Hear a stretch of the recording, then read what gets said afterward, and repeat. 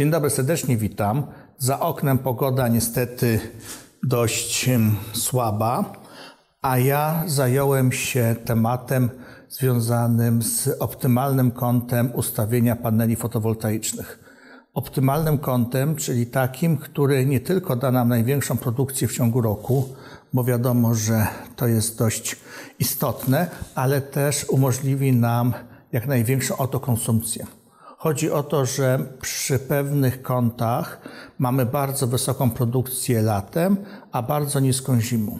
Czyli latem musimy ogromną ilość energii wysyłać do sieci energetycznej i ją tam magazynować, a zimą z kolei mamy deficyt energii, musimy ją brać z sieci energetycznej. W polskim prawie w tym momencie tracimy na tym 20%, ale y, przy nowym prosumencie będziemy po prostu nadwyżkę sprzedawać, a potem kupować po cenie rynkowej energię elektryczną.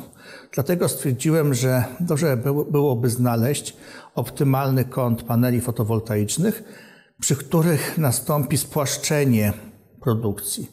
Czyli w ciągu roku uzyskamy mniej więcej podobną produkcję z paneli, podobną jak przy idealnym kącie, podobną, ale oczywiście mniejszą. Ja tam założyłem, że maksymalnie możemy stracić do 5-6%, ale latem będziemy produkowali odpowiednio mniej energii elektrycznej, czyli dzięki temu procentowo więcej jej będziemy w stanie od razu skonsumować, ale zimą pojawi się tej energii dużo więcej niż przy innych kątach. Wyliczyłem to i zapraszam Państwa na podsumowanie tych moich wniosków. Dzień dobry, serdecznie witam. Dzisiaj chciałem zrobić to, o czym dawno Wam obiecałem, czyli jaki jest najbardziej optymalny kąt paneli fotowoltaicznych w Polsce, jeżeli chodzi o autokonsumpcję. Normalnie problem polega na tym, że możemy obliczyć najlepszy kąt, kiedy mamy największą produkcję rocznie, najwięcej kilowatogodzin wyprodukuje nasza instalacja fotowoltaiczna, ale mm, przy pewnych zmianach kąta ta produkcja będzie niedużo mniejsza, ale będzie bardziej spłaszczona, czyli będziemy mieli w zimie większą produkcję a latem trochę mniejszą. I dzięki temu będziemy mogli bardziej konsumować energię, czyli będziemy mieli więcej energii zimą, a latem mniej energii będziemy musieli oddawać, a przez to mniej tracić 20%. Jak zwykle posłużę się programem, który udostępnia nam Unia Europejska. Pierwsza rzecz, musimy znaleźć swoją lokalizację. Ja tradycyjnie umieszczam się w Nowym Mieście nad Pielicą na lotnisku, tutaj na granicy dwóch gmin. Jest to tyle dla mnie wygodna sytuacja, to jest centralna część Polski i takie miejsce charakterystyczne, płaskie, nie ma ryzyka, że może się tam jakieś pojawić górka czy inna przeszkoda, która będzie wpływała negatywnie na produkcję i powtarzalne, bo to miejsce łatwo mi jest za każdym razem zlokalizować dzięki tej granicy dwóch gmin i lotnisku. Pozostawiam tutaj wszystko bez zmian. Azymut, czyli kierunek, w jakim jest ustawiona nasza fotowoltaika, dokładnie na południe, a będę zmieniał tylko kąt ustawienia. Czyli zaczynamy od zera. Widzimy, że przy płasko położonych panelach tak to wygląda, to jest ten kąt. Przy płasko położonych panelach na gruncie mamy produkcję całoroczną 855 kWh z 1 kW pika paneli fotowoltaicznych, czyli 855 kWh do kWp. W styczniu 15,7 kWh, a w lipcu 129 kWh. Taka mniej więcej jest różnica. Będę wpisywał te kąty co 5 stopni.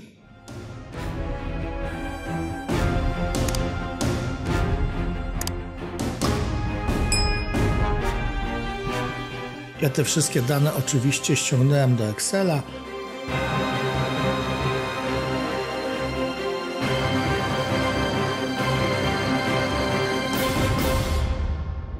Zero, kąt 5, 10, 15, 20 i tak dalej, aż do kąta nachylenia paneli 90 stopni, czyli pionowo stoją i wpisałem w tą tabelkę całość. Poszczególne miesiące roku, styczeń, luty, marzec, kwiecień, grudzień i poszczególne kąty paneli fotowoltaicznych, a tu mamy produkcję w danym miesiącu z 1 kW paneli fotowoltaicznych.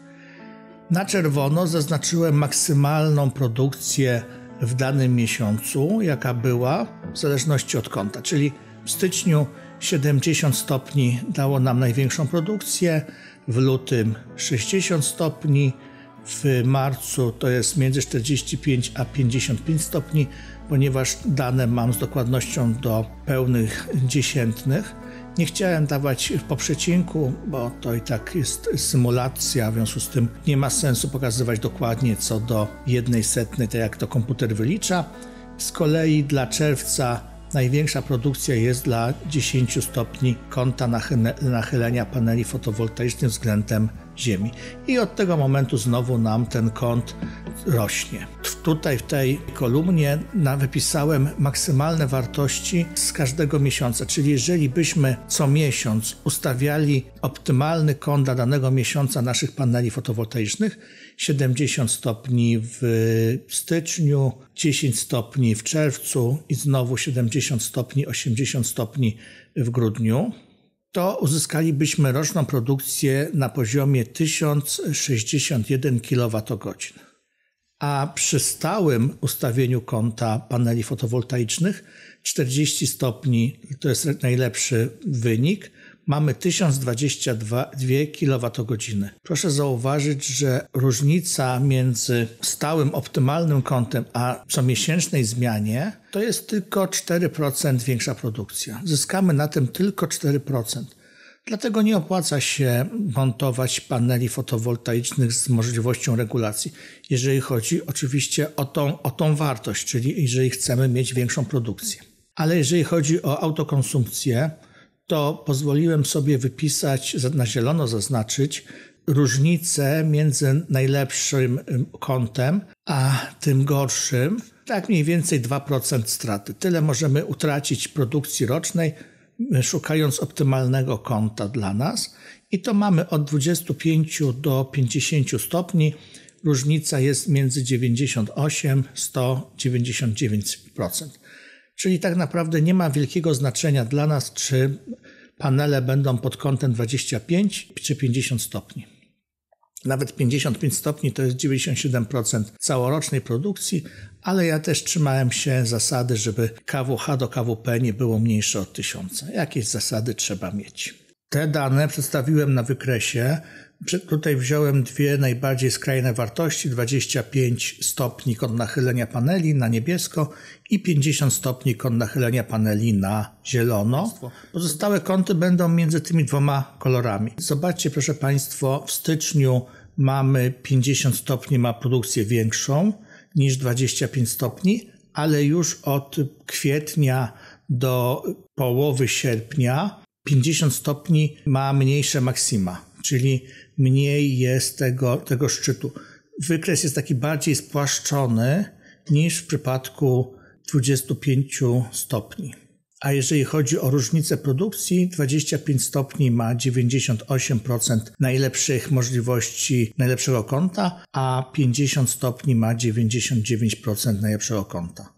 Dlatego też warto iść w kierunku tego, że używamy, ustawiamy nasze panele fotowoltaiczne pod większym kątem. Dodatkowo w zimie te 50 stopni powoduje, że śnieg będzie nam się lepiej staczał, schodził z tego, z tych paneli one będą szybciej odśnieżone i będą mogły szybciej już produkować energię elektryczną. Pokażę Państwu, co się stanie, jeżeli przestawimy się na przykład na 60 stopni. Już zostawiłem. Na niebiesko mamy 60 stopni. Początek styczeń, luty, marzec mamy taką samą produkcję zarówno dla 50, jak i dla 60 stopni. Tutaj nie mamy żadnego uzysku, żadnego zysku z tego, z tego tytułu, czyli nie zyskujemy nic przez pierwsze trzy miesiące roku i przez trzy ostatnie miesiące roku. Za to latem 60 stopni poddaje nam dużo niższą produkcję niż 50 stopni. To powoduje to, że mamy o 5% mniejszą produkcję energii elektrycznej niż dla idealnego ustawienia kąta, a o 4% gorszą produkcję niż dla 50 stopni. Czyli tak naprawdę ta zmiana nie przynosi nam żadnego, żadnej korzyści, jeżeli chodzi o większą produkcję w zimie, a przynosi nam większą stratę latem. Dlatego 50 stopni jest najbardziej optymalnym kątem, który no, należy stosować. Możemy to pokusić się o 55 stopni. Zobaczcie, to samo. Styczeń, luty, marzec bez zmian. Tutaj mamy mniejszą produkcję w okresie letnim 97 do 99%. Także tu myślę, że to Państwa przekonało do tego optymalnego kąta. Większy kąt 50 stopni powoduje, że słońce mniej nagrzewa panele, lepiej są chłodzone. Jedyny minus jest taki, że oddziaływanie wiatru jest dużo większe oraz to, że cień, który pada z jednych paneli na drugie panele, jest też dużo większy. Oczywiście, jeżeli mamy panele na dachu, to powinny mieć one taki kąt, jaki jest kąt dachu. Najczęściej to jest 40 stopni. Zobaczmy sobie 40 stopni, 40-45, prawda? Dla 40 stopni mamy już produkcję trochę mniejszą w styczniu, w lutym, w marcu, już taką samą, ale z kolei już latem jest produkcja większa. No i to jest dokładnie 100%. Największa, największa produkcja występuje dla 40 stopni na Mazowszu, w Nowym Mieście nad Pilicą, dokładnie w tym miejscu dla paneli skierowanych na południe. Mam nadzieję, że podobała się Państwu ta moja prezentacja, że jest zrozumiała. Bardzo dziękuję wszystkim patronom za to, że wspieracie mnie w tym, co robię.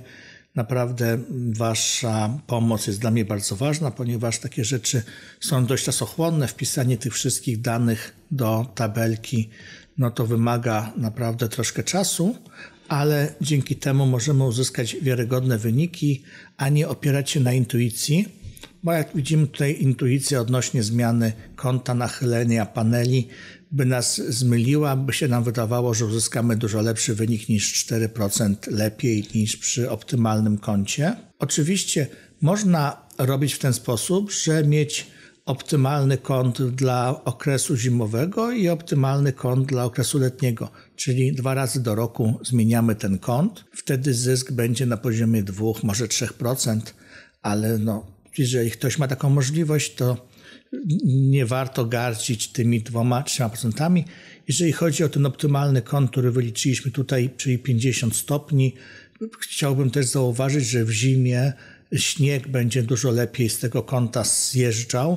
W związku z tym panele będą lepiej odśnieżone i produkcja w zimie będzie też pod tym względem lepsza niż, niż w przypadku kąta małego, rzędu 25 stopni.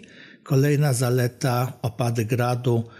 Grad będzie uderzał nie pod kątem prostym, prostopadle do powierzchni panela, czy tam zbliżonym do prostopadłego, tylko będzie uderzał pod dość dużym kątem i duża część energii pójdzie w odbicie, a nie w bezpośrednie uderzenie w panel fotowoltaiczny. Serdecznie dziękuję za uwagę i jeżeli macie jakieś pytania, to zapraszam. Adres mailowy znajduje się w opisie.